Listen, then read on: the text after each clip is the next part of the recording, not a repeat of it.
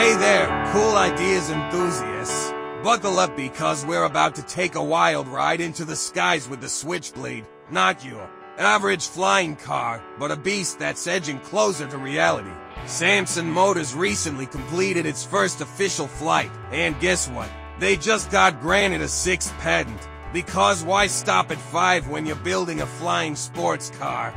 Now, I know what you're thinking, flying car. Isn't that stuff from sci-fi movies? Well, think again because the Switchblade is here to break the sound barrier and defy gravity.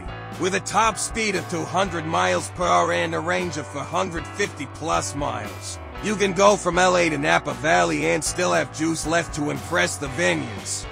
But what makes the Switchblade a game changer? It's not just the speed, it's the wing swing system. Samson CEO Sam Bousfield says it's like having a Batmobile with wings. You can retract the wings and tail into the vehicle, fully protecting them while you're cruising down the highway. Practical for everyday use, check. Coolest feature ever, double check.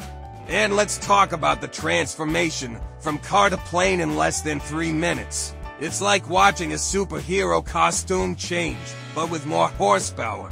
Wings swing out, tail extends, and boom, you're ready for takeoff. Say goodbye to traffic jams. Hello, open skies. Now, the Switchblade doesn't run on some fancy aviation fuel. It's a hybrid with a three-cylinder engine running on good old 91 octane gasoline. Don't worry, you won't need a pilot's license to take this bad boy for a spin, or should I say, a flight. And the price tag, well, for the standard model, you're looking at $170,000. But if you want to go all out with the Switchblade Limited, that's a jaw-dropping $770,000. I guess flying cars aren't cheap, but who said living in the future was supposed two be budget-friendly? Sure, it might not be a typical family car, but who needs that when you can soar through the clouds with space for to and their luggage? It's not a Toyota GR86 or a Subaru BRZ, but who cares when you can outfly them, right?